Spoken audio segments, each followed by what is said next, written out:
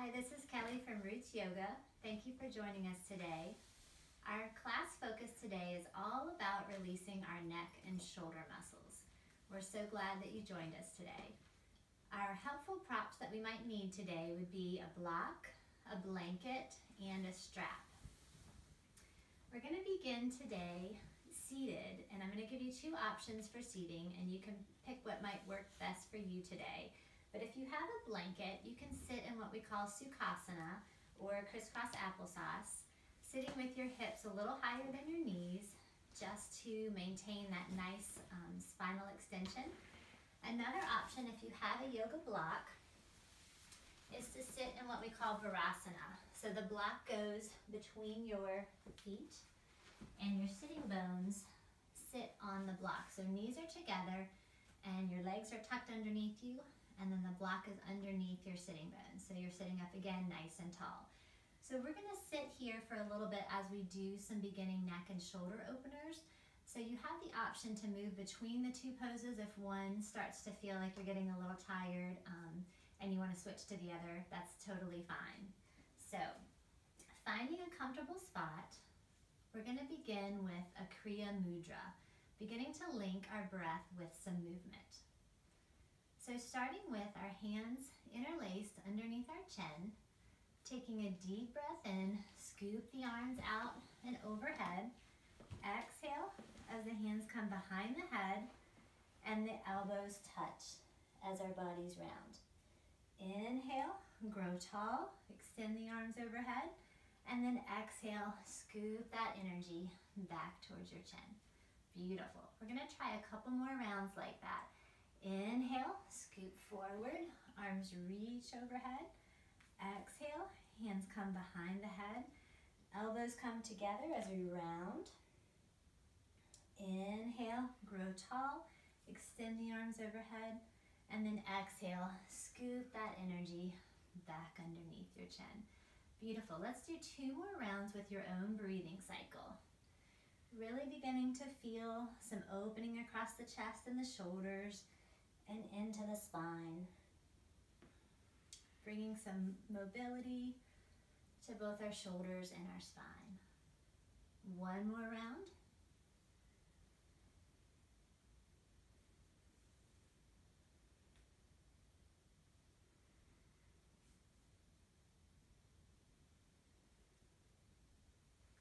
And then release those arms.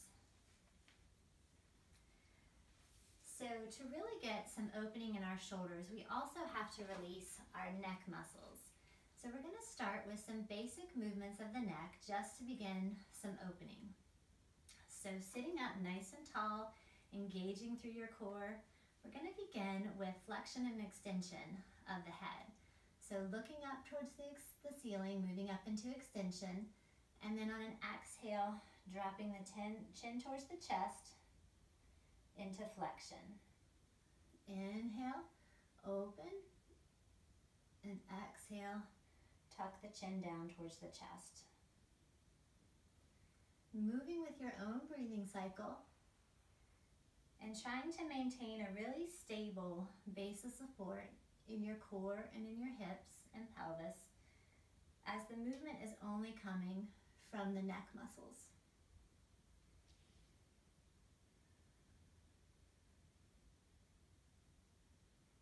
One more round. And then coming back to a neutral position. From here, we're going to begin to twist and turn our head. So looking over the right shoulder, back to center, and then to the left. Again, connecting the core to the spine, maintaining that stable base as the movement is only coming from the neck muscles. And you may notice that one side might feel a little tighter than the other, maybe some sticky points. Just noticing that about yourself without any judgment. And then coming back to center.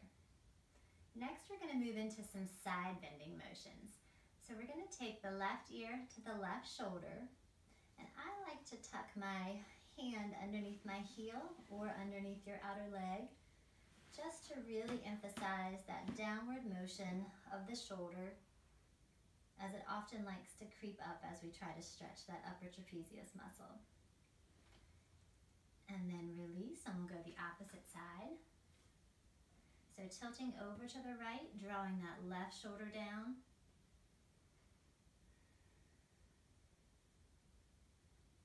And then let's switch one more time each side. Tilting to the left, drawing the right shoulder down. And releasing. Tilting to the right, drawing that left shoulder down. And then coming back to center. Next, we'll move into some shoulder shrugs, but as we reach up, we're gonna really emphasize coming down, that shoulder depression. So inhale the shoulders up, exhale down, feeling the shoulder blades slide down the back body.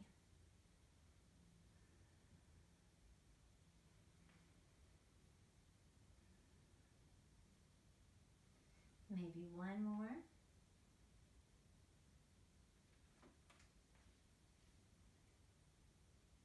And then let's take our hands, clasp them together and place them on the back of our heads. As we round forward, feeling the elongation of the neck extensors as the chin tucks to the chest.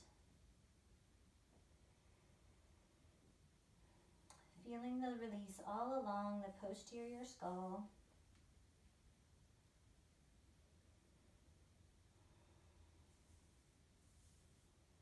And then slowly release the hands down, coming back to center. We're gonna move back into that side bending stretch. So take your right hand underneath your right heel or your outer right leg. And we're gonna begin again to tilt to the left side, opening that right upper trapezius muscle. If it feels good for your body, you can take that left arm up and add a little slight overpressure, tilting towards the left opening the right side of the neck.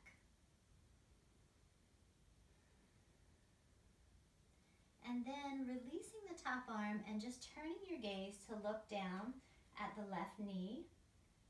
And then providing a little overpressure again if it feels good in your body to begin to lengthen the levator scapulae muscles. and then release that pressure, release the top arm down, and let's switch sides. So tucking that left hand underneath your ankle or your outer hip, tilting to the right side, right ear to the right shoulder. Right hand can come up on top of the head, and if it feels okay, provide a little overpressure to open up that left upper trapezius.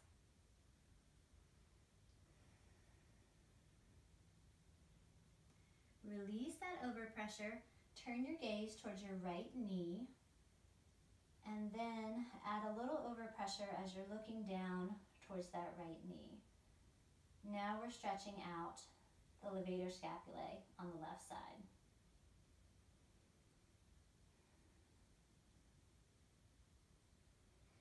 Slowly release. Coming back to center.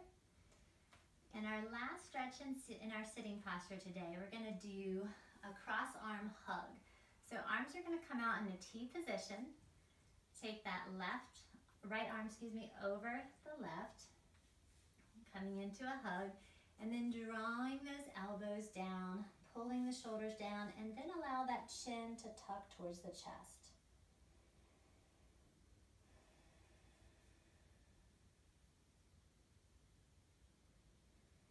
One more breath here. Release those arms, unwind the cross, paying attention to which arm you crossed over, and we'll do the opposite side. Giving your shoulders a big hug, pulling the shoulders down and tucking the chin towards the chest.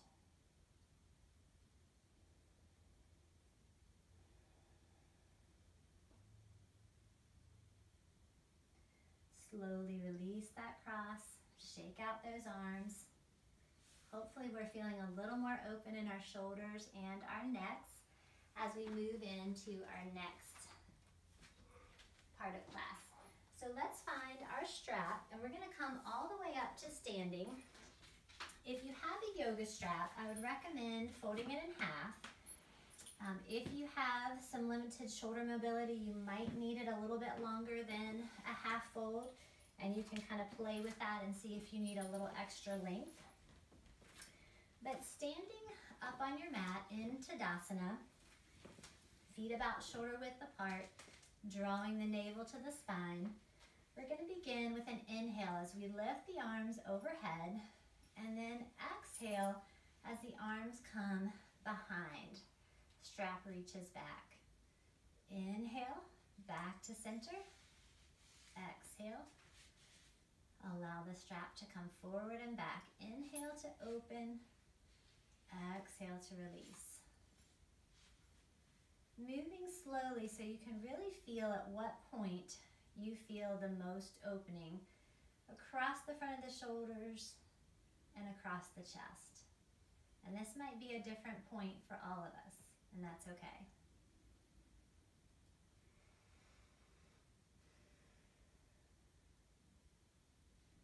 One more round.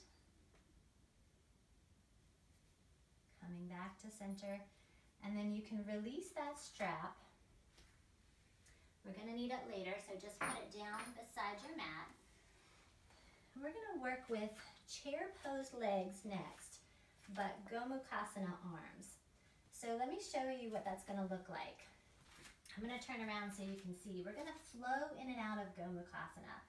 So one arm is gonna reach behind like you're trying to scratch your back, and then the other arm is gonna reach like you're trying to place the back of your hand between your shoulder blades.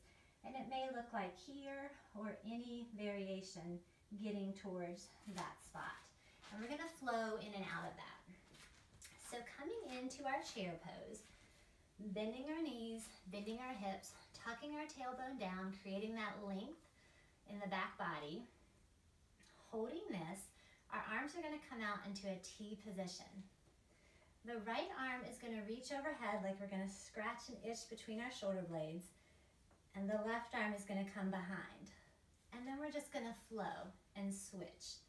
Just working on that internal and external shoulder mobility while we're in our chair pose. Great job. A lot going on here, a lot of balance work, a lot of arm shoulder opening. Good. One more round.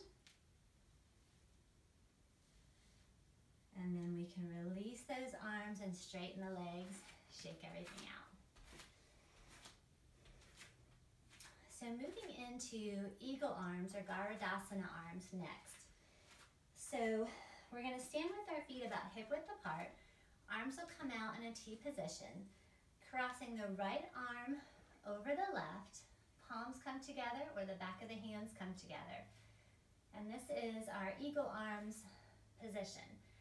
So options here to sink back into our chair pose, tucking our tailbone and hanging out here. If we'd like to add Garudasana or eagle legs, we can shift our weight into that left leg and then we're gonna cross that right leg over. Working on our balance here.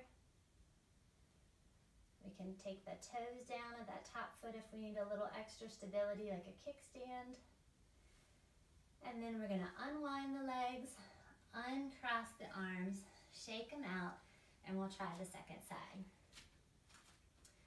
So arms will come back out into a T position, crossing the left arm over the right, finding the eagle arm position here, and then sinking back into your chair, option to hang out here or to cross that left leg over the right, shifting your weight into that right leg, finding that one-legged balance.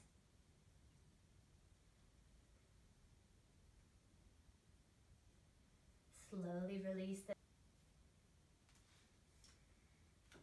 and release those arms down, shake the legs, shake the arms out. Great job. So coming to the top of our mat, we're going to begin with a little mini sun salutation. So standing in Tadasana or mountain pose, inhale the arms overhead as we exhale, folding forward.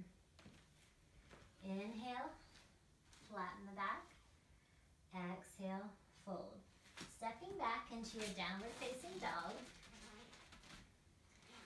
Pausing for a breath or two here. And then looking between the hands, let's walk the feet back towards the hands. Inhale to flatten the back. Exhale to round, grounding down through the feet. Inhaling, arms reaching overhead. Exhale, hands back to the heart center. Let's try one more round just like that, and then we're gonna add a few shoulder opening poses. Inhale, arms reach overhead. Exhale, folding forward. Inhale, hands come to the shins, lengthen the back body. Exhale, round. Stepping back into your downward facing dog. Holding and breathing here.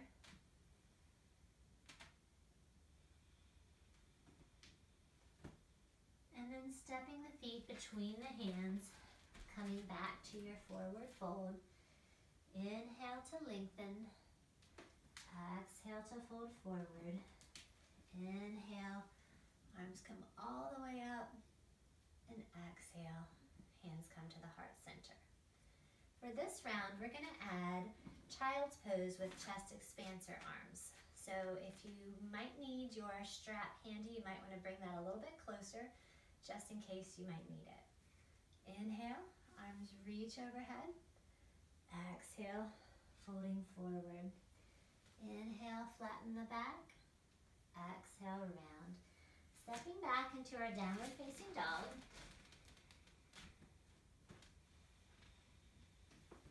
And then dropping the knees to the mat and walking the hands back. We're going to come into child's pose with chest expansor arms. So if you want to reach behind and um, clasp the hands together and work on chest expansor arms in this position, that's wonderful. If you feel like you might need a little um, more leeway in the shoulders, a little bit more um, space to create that chest expansor arms, you can always take the strap behind you and work on opening the shoulders and the chest while you're pulling the strap apart. So two options there. So let's find our arm position, chest expansor arms. Then taking our knees out wide, big toes to touch, we're gonna sink down into our child's pose with our chest expansor arms.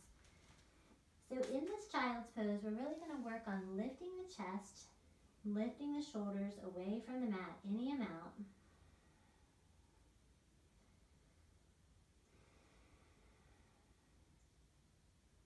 One more breath here. Slowly release the hands, release the strap if you have that in your hands. And we'll come back into our downward facing dog.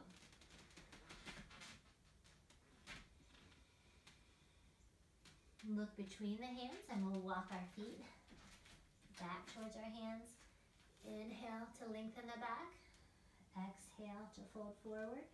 Inhale, scooping the arms overhead. Exhale, hands back to the heart center. So working with thread the needle next. Inhale the arms overhead. Exhale, folding forward. Inhale to lengthen.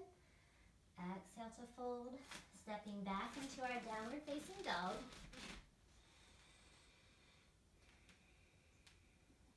And then dropping our knees, coming down into our table position. From here, we're gonna walk the right hand forward just a little bit and slide our left arm underneath so that we come down onto that left shoulder. So from here, that top arm can reach overhead or it can come in a little bit with, an el with the bent elbow and help us shift our weight towards that left shoulder. Feeling that opening all across the posterior shoulder, the lateral shoulder on the left side.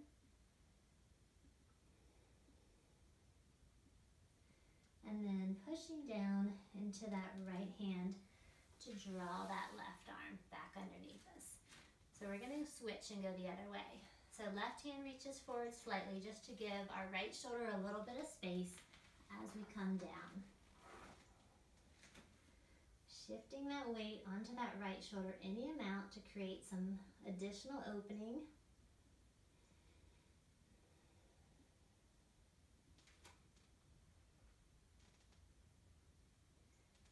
And then using that left hand to push up and slide that right hand back underneath. Tucking our toes, we'll lift up into our downward facing dog. And then walk the feet up to meet the hands. Inhale to lengthen, exhale to fold. Inhale, arms reach overhead. Exhale, hands come back to the heart center. So one more round. This time we're gonna play with a version of side plank, Vasisthasana. Inhale the arms overhead. Exhale, fold forward. Inhale, lengthen the spine. Exhale, round. Stepping back into our downward facing dog.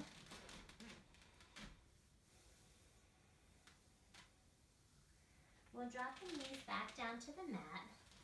Working with that left knee, we're gonna keep the left knee on the ground and then take our left foot out to the side like a little kickstand.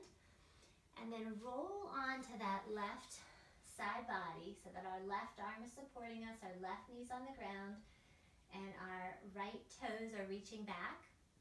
We can keep the toes there or we can lift up if you'd like, and then really open across the top arm, through the chest and shoulders, reaching that arm up towards the ceiling for our variation of side plank today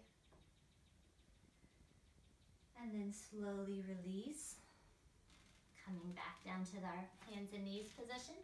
We're gonna switch and go the other way. So right foot comes out like a little kickstand, rolling on to our right side body. Playing again with either reaching back with those left toes or maybe lifting that leg up. And then opening that top arm to the ceiling any amount.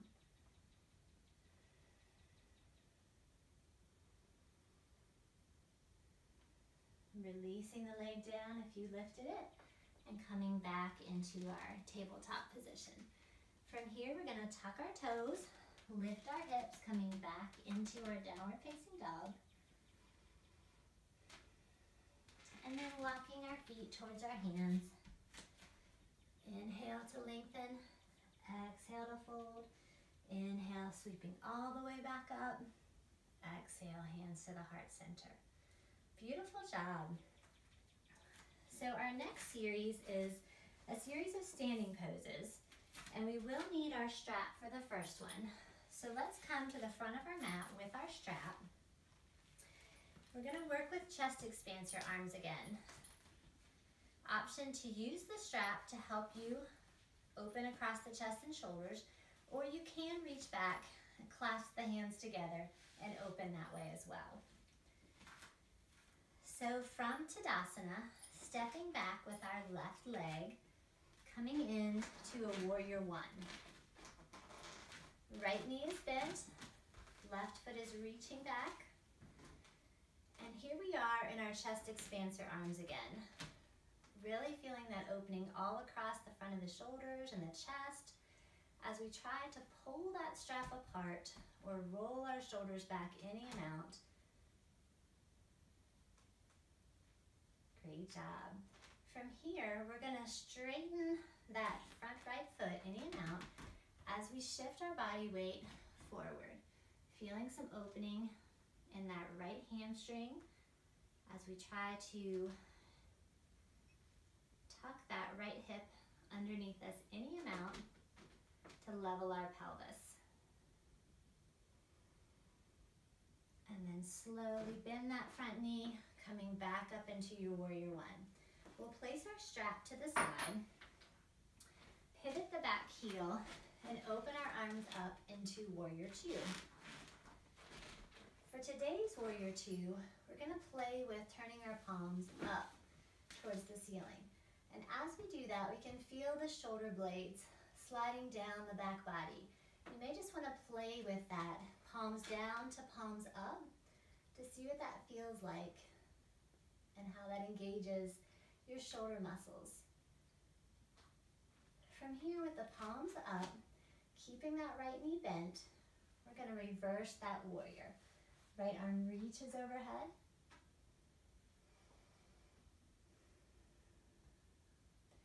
And then moving into side angle pose, right arm to the right knee. And for today's side angle pose, we're gonna place that left hand palm up on our sacrum to really emphasize that opening through the left shoulder.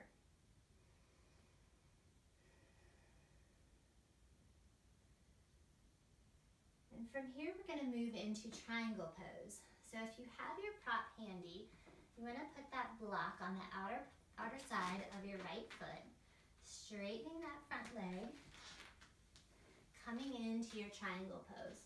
We'll begin with the arm reaching overhead. And then for today's class, we're gonna tuck that arm and reach it across the back of the body, reaching for that outer right hip. Again, creating some additional opening in the left shoulder.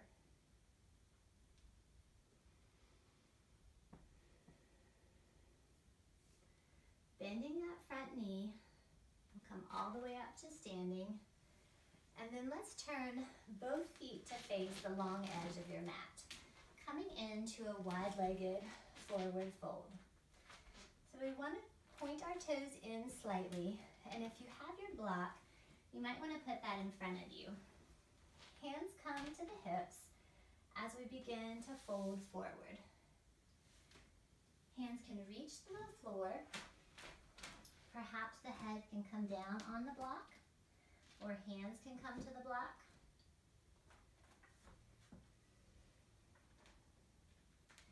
Taking a few recovery breaths in this position.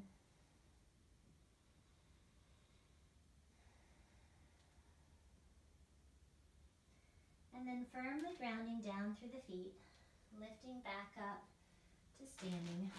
We'll flip our feet forward and step to the short edge of our mat. Beautiful job. So we're gonna reverse and do the second side. So if you need that strap, let's go ahead and have that handy. Stepping to the front of the mat. We're gonna step that right foot back, left foot forward, coming into our warrior one with our chest expansor arms.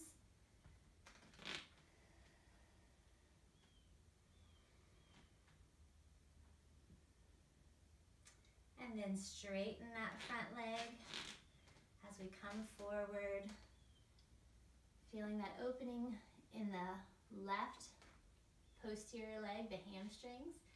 Seeing if we can level our pelvis by tucking that left hip any amount.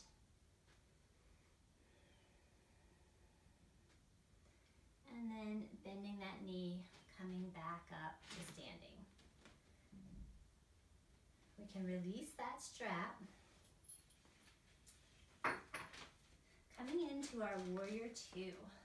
Opening the arms, tilting that, rotating that back foot in slightly. And then playing again with flipping the palms up towards the ceiling and feeling that position of the shoulder blades as we do that. And how that really creates some freedom in our shoulders. And then from here, we're gonna reverse our warrior. Left arm reaches overhead.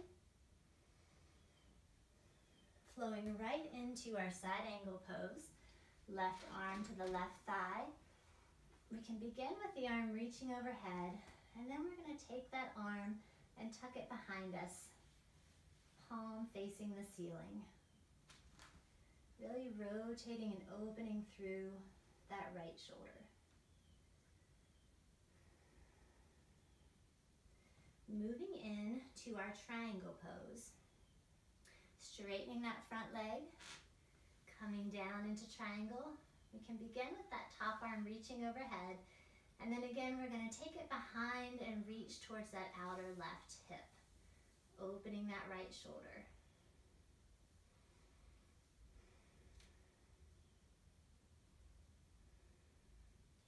Bending that front knee to come all the way up to standing. We're gonna rotate our feet out towards the opposite long edge of your mat. And if you've used that prop on the first side, let's bring it forward so you have it on this side as well. Turning our toes in, hands come to the hips, opening across the chest, and then folding forward.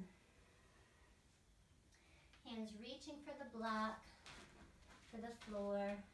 Perhaps the head can come down and rest on the block. Taking a few recovery breaths here.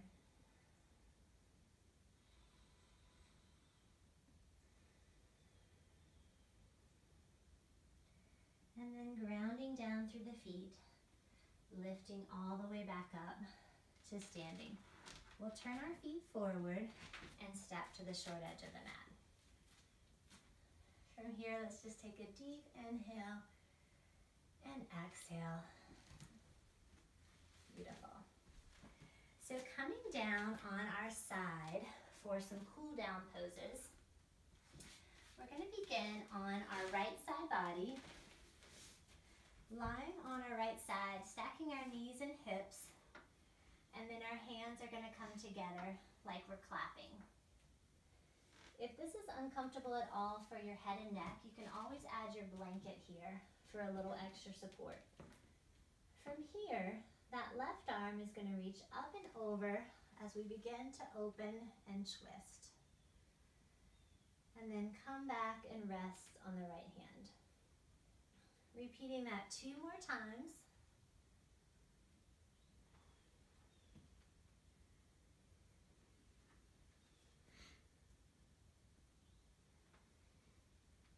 And then to switch sides, we're going to roll onto our back, lift and shift our, shift our hips. Remove any props that might be in our way. And then we'll repeat on the second side, stacking the hips and the knees and the shoulders and hands.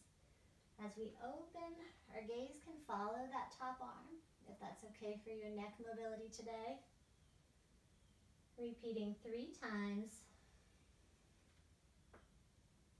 on the second side.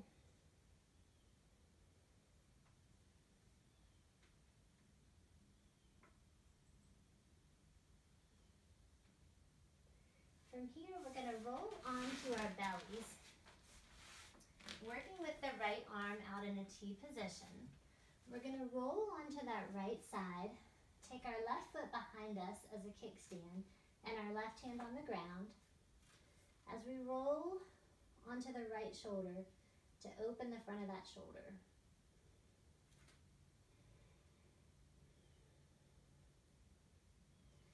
And then coming back to center, We'll take the left arm out in a T position, rolling onto that left shoulder. Right leg behind us for a kickstand and right hand in front of us.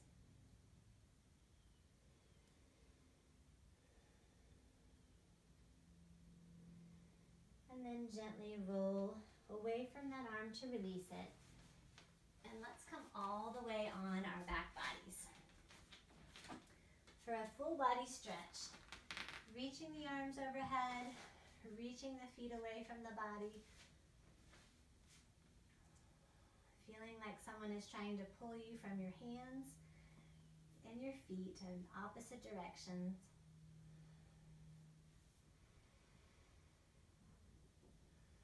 And then slowly releasing and allowing the body to open. Legs can come out to the side. Arms can rest at your side, palms up. As we move into our final resting pose, Shavasana. I wanted to share a yogic thought with you for today. Beliefs are rigid thoughts. Living your yoga. Beliefs are thoughts that you get repeated enough to take on a kind of internal structure. No belief is the truth, it is only a belief. As a practice, allow yourself to let go of one tiny belief today.